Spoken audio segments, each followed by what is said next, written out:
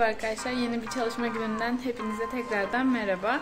Bugün 9 Temmuz, atölye çalışmalarımıza hala devam ediyoruz. Arkadaşlarımızla beraber.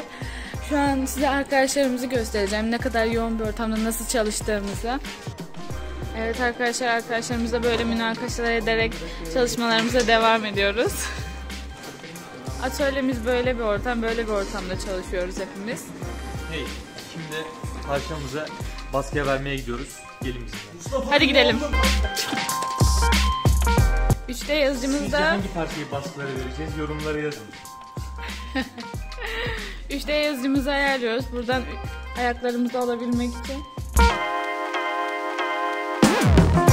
Mert Bey ne dinliyorsunuz Ben mi? Size dinleteyim hemen. Ee, Gizem Hanım'ın bilgisayarın artık ne çalıyorsa onu dinliyoruz. İyi dinlemeler. Ne alıyoruz belki baskıdan? baskıdan üst tablamızın e, farklı bir formasyondaki aynı Değiştirdik mi tasarımını tekrardan?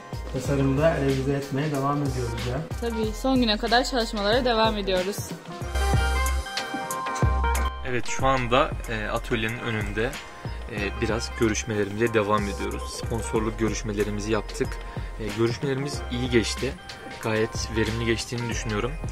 E, Berkin'le soralım bir de nasıl geçti sponsorluk görüşmelerimiz? Evet sponsorluk görüşmelerimiz beklediğimizden de güzel geçti. Ee, şimdi bir rapor sunum tarzı bir e, dosya oluşturup karşı tarafa göndereceğiz. Daha sonra hafta içinde farklı bir günde tekrar görüşme sağlayıp e, önümüzdeki günleri değerlendirip konuşacağız. Evet. Gizem sence nasıl geçti?